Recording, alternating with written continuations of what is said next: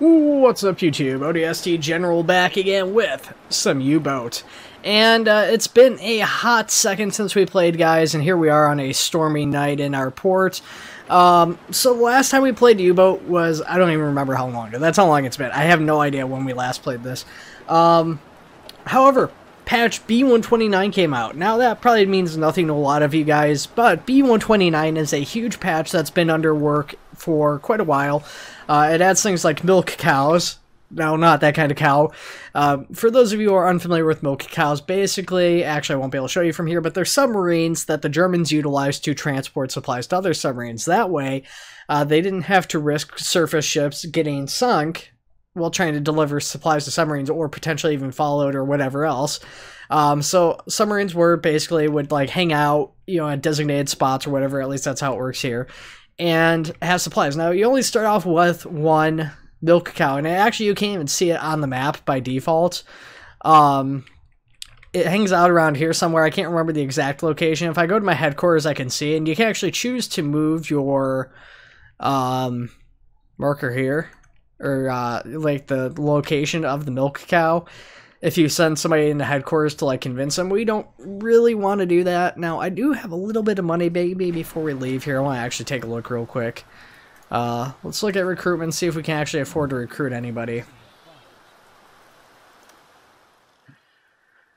Uh, we got a lot of people. I think these are all just regular random crewmen these are the officers. Can we afford any officers? These are the officers we have. Kids are screaming outside. Hopefully this uh, AI thing is working correctly and you can't hear that. Um, I'm not sure what this icon is here. Zero out of eight. Oh, what did I just do?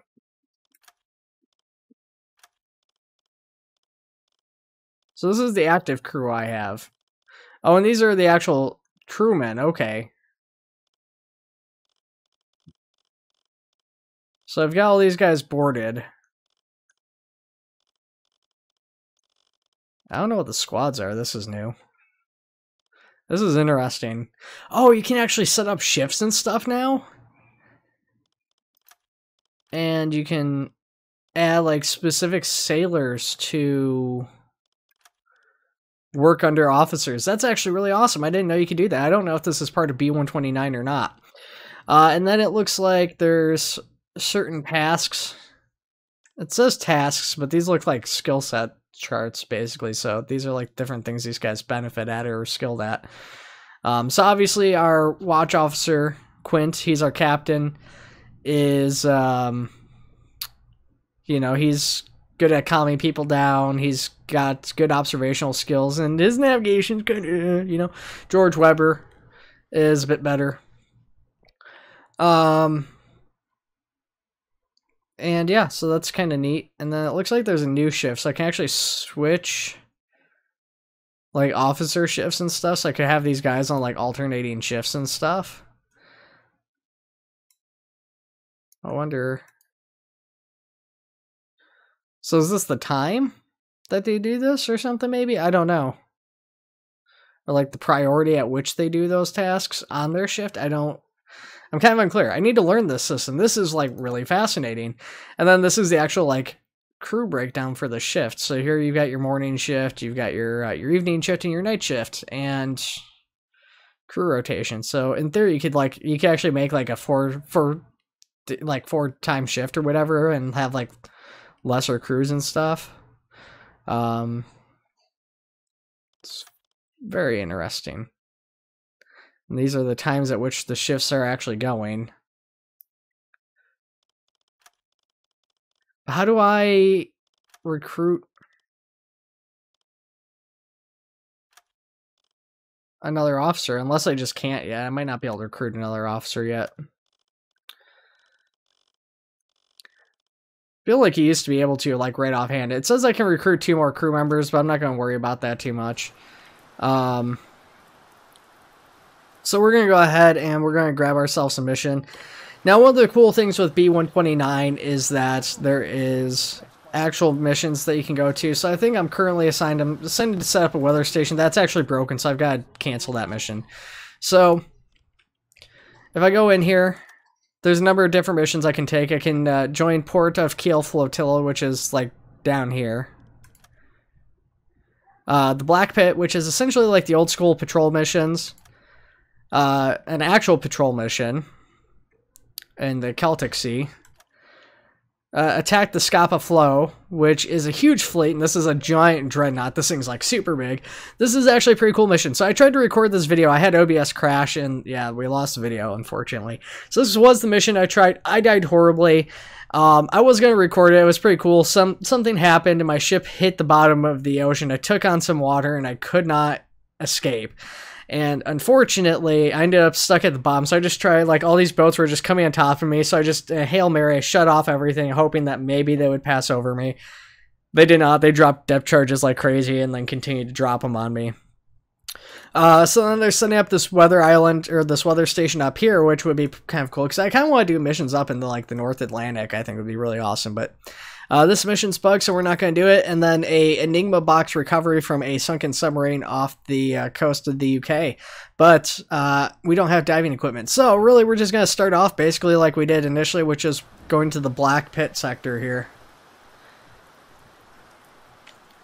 So again, this is basically just your standard, um, like your standard uh, survey patrol mission type of deal. And we don't... Certain mission objectives have to be fulfilled before undocking. What mission objectives do we need to do before undocking?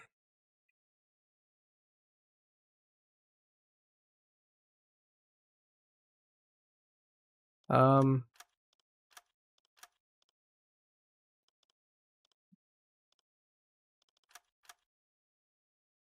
The other thing that is an issue is that I can't get out of here out of the map. I hit the tilde key, that's why. Oof. Okay. Um. Hmm. Admiralty is deeply impressed by the last patrol. These are current orders from headquarters. Your eyes only.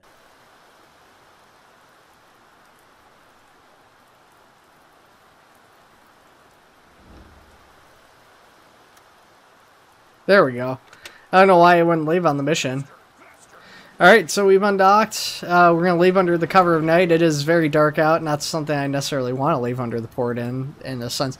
In a way, you kind of want to leave in weather like this. Like, this is perfect because, you know, spies might have an information of submarine's leaving, but, I mean, it's going to be so hard for anybody to see the submarine actually getting out of here.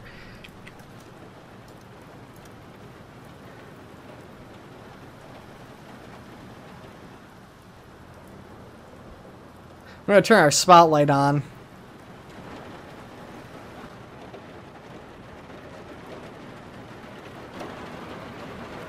First person mode is our uh,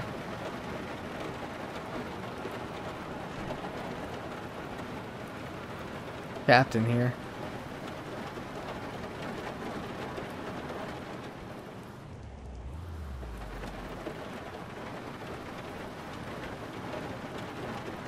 I don't know what we're getting like into or stuck on here.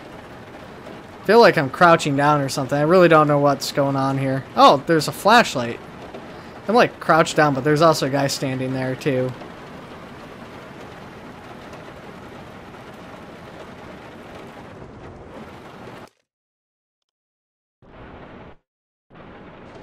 Okay, well, let's, uh...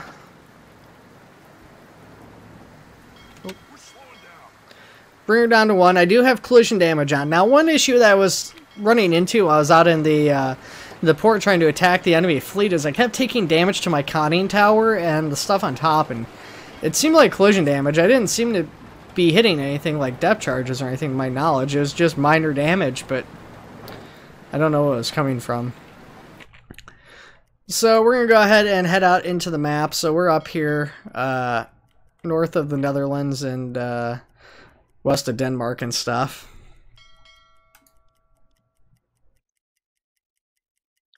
I disable my clock. I don't know how to re-enable it.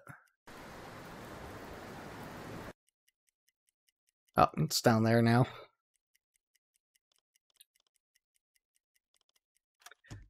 So, unfortunately, we're still in the shallows. Now, they did add 140 times thing, so if you're far enough away from land, you do have that as an option when you're in orbit view, but if you're in map view, I mean, that 6,500 times speed is definitely the way to go. It's the way to travel.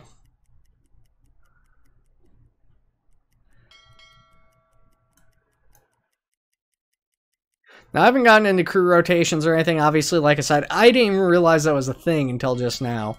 Um, so that's definitely something I want to explore, see if maybe there's a, a uh, more efficient uh, crew pattern or definitely a, like a readiness pattern I can look at in certain situations.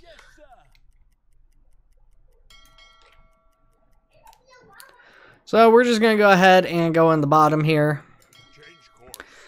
And actually, we'll probably just follow on the uh, the lines between these two and straddle them. And then once we get in there, we're going to go ahead and get our uh, officer on the hydrophone, our radio man on the hydrophone. Oh. Okay, so, um, where are you?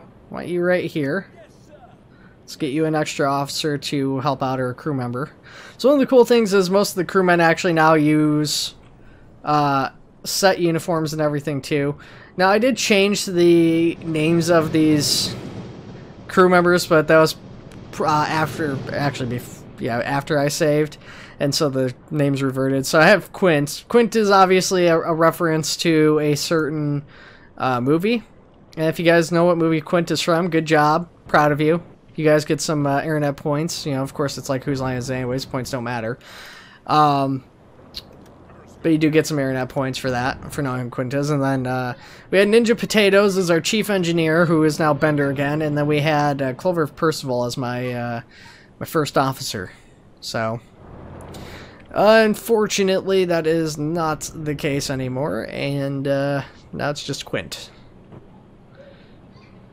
But uh, we're going to go ahead. We're preparing the ship to dive. Our uh, a couple of our guys down here, a couple of our uh, crewmen, one of our NCOs, and uh, just one of the other crewmen have gone down to the uh, valves to prepare us to uh, to dive down and everything. And the deck is awash now. It looks like. It might just be that the seas are rough. I'm not really sure. Oh no, we're diving down. Ah, oh, crap! I forgot to shut the spotlight off. That is not ideal. that was a, a big oopsie. This is definitely to make us more spottable. Gee, I wonder what that giant light is under the water. Hmm. Well, we're underwater now. I'm mostly diving down anyways to make use of our sonar. Skipper, I've detected a ship.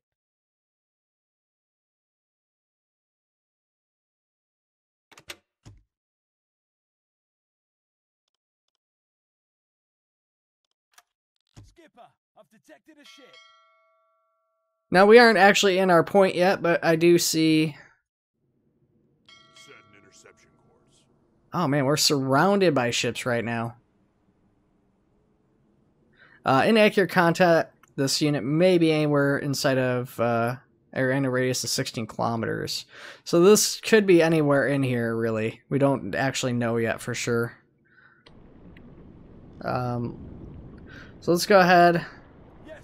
See if we can increase the uh, the likelihood of finding this. We got guys heating up torpedoes. Let's um. We'll actually just leave them be for right now as they are. Set an interception course.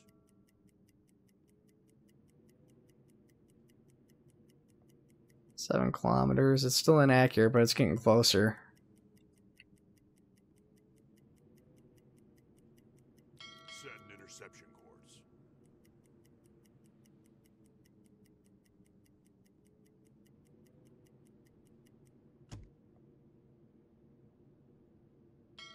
interception course.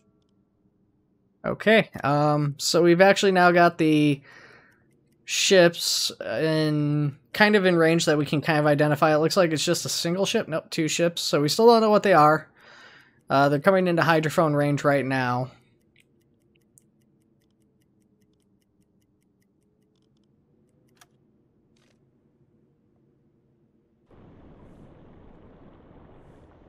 Um, still kind of awkward because I still have my searchlight on. I don't know if that's going to make a difference or not. I don't even know what kind of ships these are.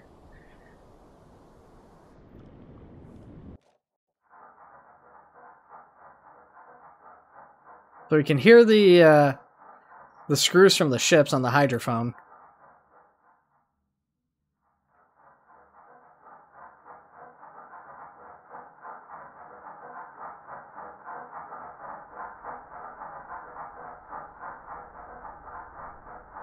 They sound like they're off of our starboard side. Which, yep, that's uh, seems about right. Well, we'll just uh, we'll continue on our course. I'm a little bit worried about having that spotlight on now, but I'm guessing that they're oh man, they're in such a weird pattern though for cargo ships is the thing.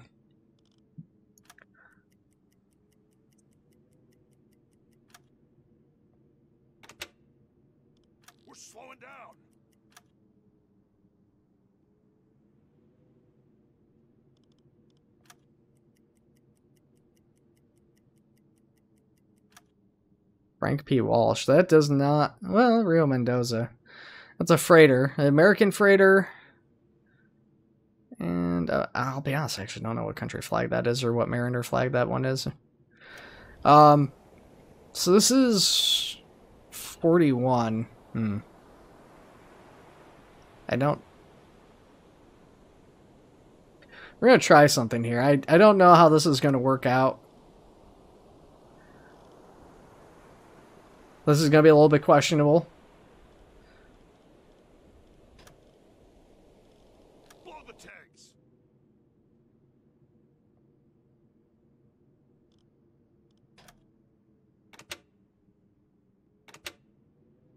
Faster, faster. Reception not possible. So one of the other things that you can do now is that you can actually board um, freighters and stuff like that and actually check their cargo manifest and stuff like that and make sure that they are who like they say they are and see if they're carrying like the manifest they claim and stuff like that. And potentially you know even like uh, get supplies off of them calculate torpedo course. Uh i need an intercept course is what i need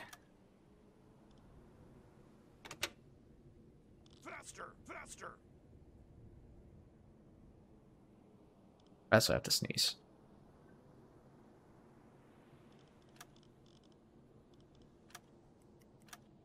Set a course to these coordinates. Ooh, that was close.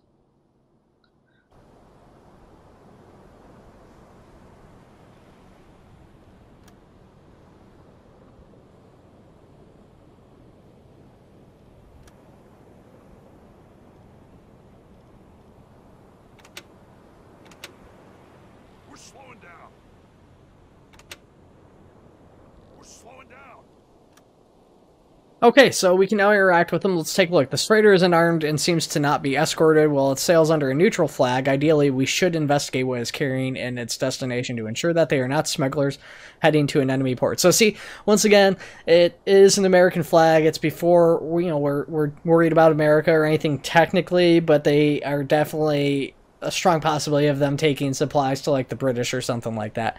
So we're going to send a delegation to the freighter. Now, things could happen. Um, things could potentially go bad. Now, our captain, Quint, actually speaks English. So we're going to go ahead and we're going to send Quint. And uh, we're going to send Quint out wearing a helmet because he is our captain. We don't want him getting injured. Um, now, can I send... I can't. So I guess this is like survivors or whatever. I can't send a crewman out, so it's got to be another officer. Um, hmm. Let's send out Otto, and we'll send out Otto with a Kar 98. And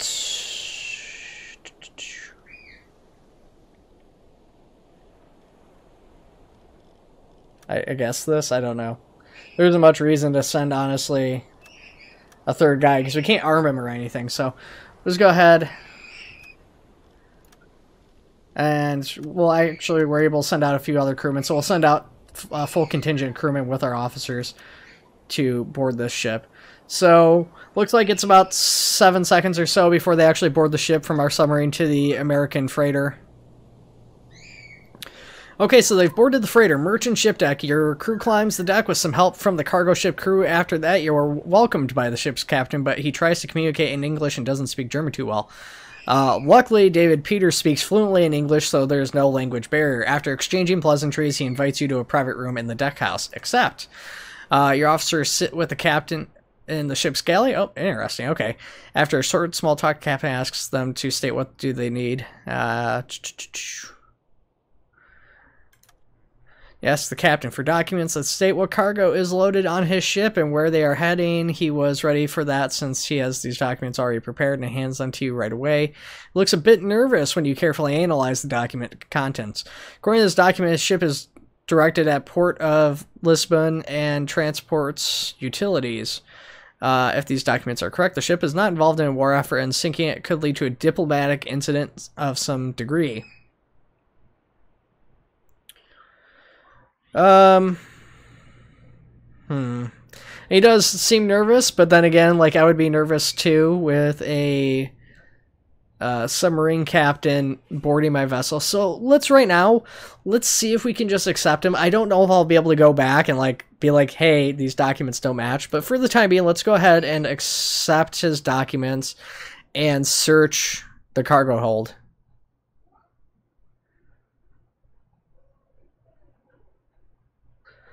Um, okay.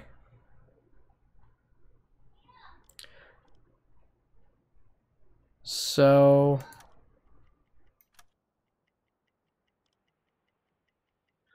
Uh, definitely takes some time for them to search the cargo hold, as you guys can see.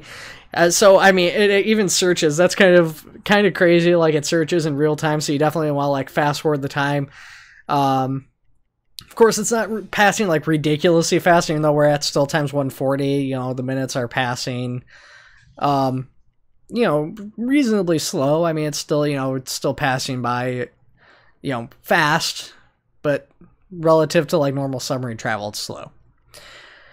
So, I mean, progress is going up. Seems to be getting faster and faster and faster here.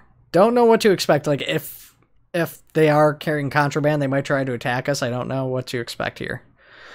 Um,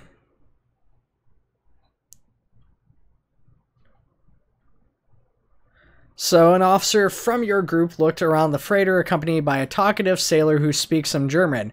He shared his view on the war and told us about, or told about his uncle that married a woman from Hamburg. Uh, so they haven't found anything in the cargo hold. Um, so I can't seem to pressure the captain on that, so I guess we're just going to go ahead and return.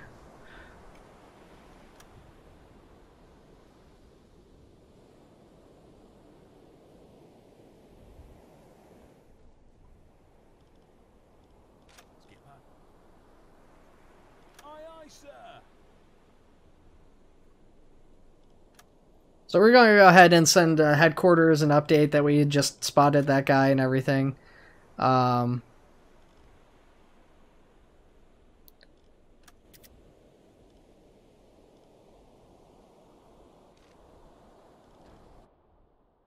they're still here. We're going to go ahead and just return to our ship. We're going to leave them be. Um, to be honest, I'm still a little bit suspicious because the captain was nervous and everything. But again, I mean, you'd kind of be nervous too. Now there is the other ship who seems to have just like kept going. He's like, I'm not bothering with this. They didn't ask me to stop. So we're gonna go ahead and try to run the other ship down here if we can. I can see his smokestack off in the distance there. It looks like. Actually, we'll uh, Change course.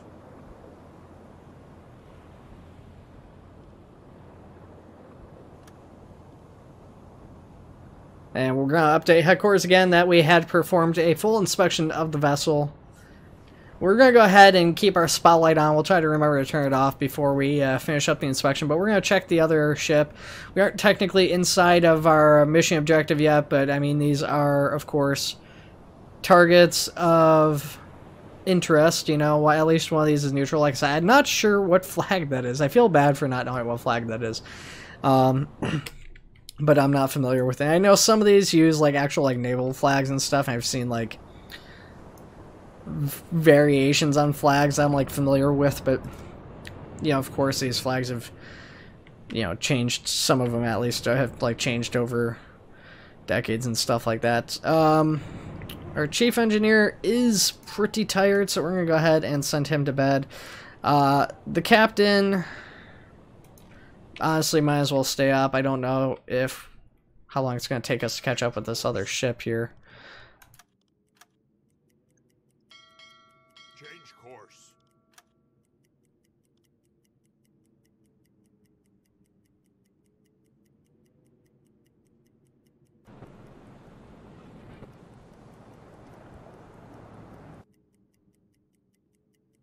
Change course. Yeah, I know detection. I'm trying to catch up with him.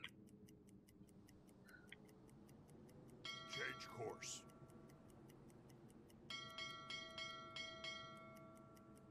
Change course. We're slowing down. Oh man, they almost hit us, I think. Uh, that was kind of a little, little questionable trying to approach these ships. Definitely something you probably want to actually do in manual uh, when approaching them. So the freighter is unarmed, seems to be escorted, or not to be escorted. Uh, it is under a neutral flag again. Um, so let's go ahead. Once again, we're going to send a delegation. We'll send the captain back even though he is tired. Oh, I can't send him even though he's... because he is tired. Ooh. Um... Hmm. That's... Okay, well, let's try to send our radio man. I'm a little bit wary about that because he's our only one. And we'll send our other officer, and we'll actually arm the officer because the uh, the radio man we want to try and keep on board. We'll send a full contingent of uh, crewmen again to support our officers, just to uh, try and keep them safe, try and get this done as fast as possible. Um, don't know what language these guys are going to be speaking. Cold welcome from the crew, cargo ship's crew. What do you want? Ask the captain in German without exchanging any pleasantries. This is a neutral ship and you shouldn't be here. Uh, ask the captain for documents that describe what type of cargo they have.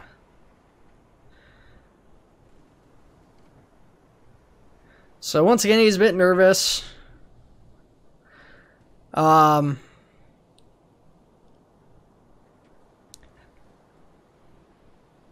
So supposedly he's transporting tobacco. He is kind of a dick. He does speak German, so we're going to... Uh, so we could we can make up claims. They said there's a 35% chance to hear the truth due to having armed officers. It gets increased slightly, it looks like. So 45% chance. Uh, so it's like 50-50 we'll hear the truth. Um... and we don't have a our officer here that we have with us doesn't have uh, navigation or I'm not sure what this one is merchant unfortunately yeah none of my current officers have merchant on this playthrough. Darn kids get me sick again. We're gonna leave it be. I'm a little bit weary. Let's just search cargo hold. We'll do it the right way. See what comes of it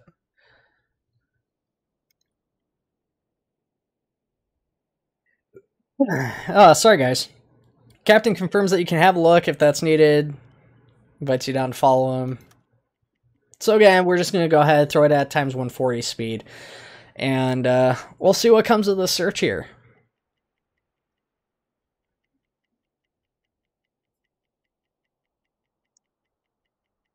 Yeah, I mean, so it looks like it's actually just... Well, no, the, the guy on the left, even though he's wearing the same coat, is our... Uh, our actual officer, I think. So, yeah, I don't know. Yeah, so it's our officers and our radio man are all searching for stuff here. Performance is slow. I don't know if it's because we're lacking two additional officers or if there's another reason that this is taking so long. Um, there might be uh, training that we can do, skills that our officers can develop to more quickly search cargo bays.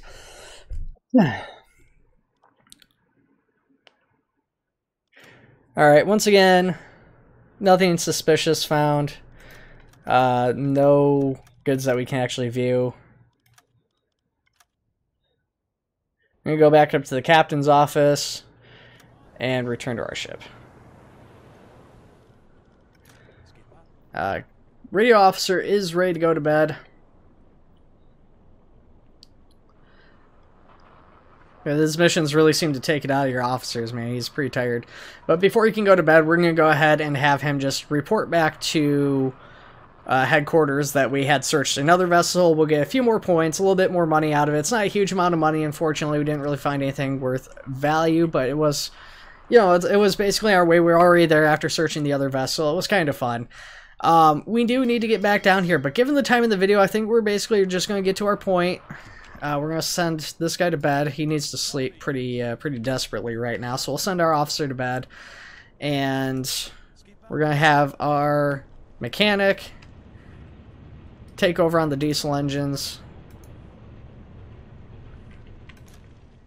Have our captain hop on the navigation table because I don't think anybody's been on navigation for a hot second.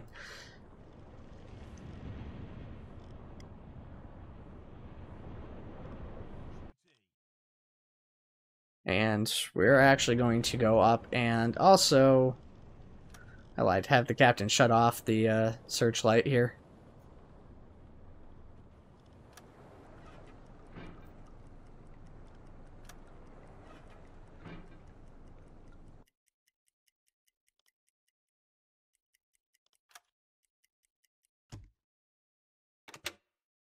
Faster! Faster! We got a detection marker, but. I'm pretty sure it's just the uh, the ships we're already dealing with here.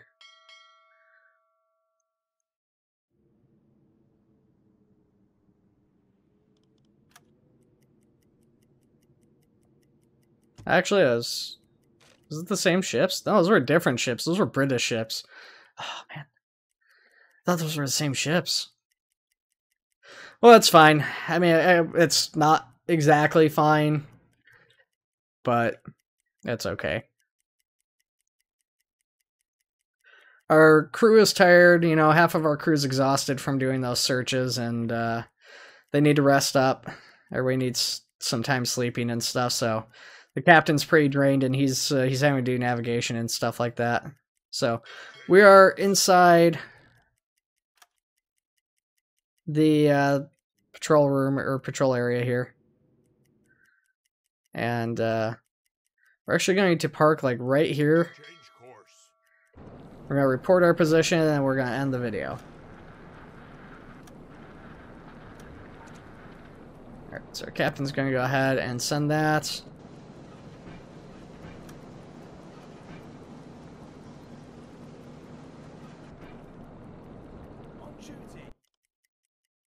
It's pretty dark out, so our visibility is still quite limited.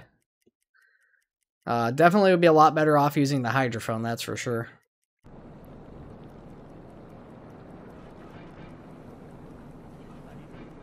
Now let's go ahead and switch this over to the uh, electric engines just for the time being to uh, make a little bit more use efficient use of our uh, diesel. Because you know, while we're using diesel, the diesel engine's going to recharge the electric battery anyways, so we might as well use the electric battery to extend out our range and try to make the most of our fuel. But basically, the plan would be to come up here. I would just come up, basically just run zigzag patterns on these lines here, and just try to check, you know, two grid squares at once. Basically, there might be a little bit of it that goes unchecked, but I think for the most part, that's the best way to do it. And we're gonna probably have to stop and go a lot just because we're gonna need our uh, radio man on the hydrophone to really do this properly.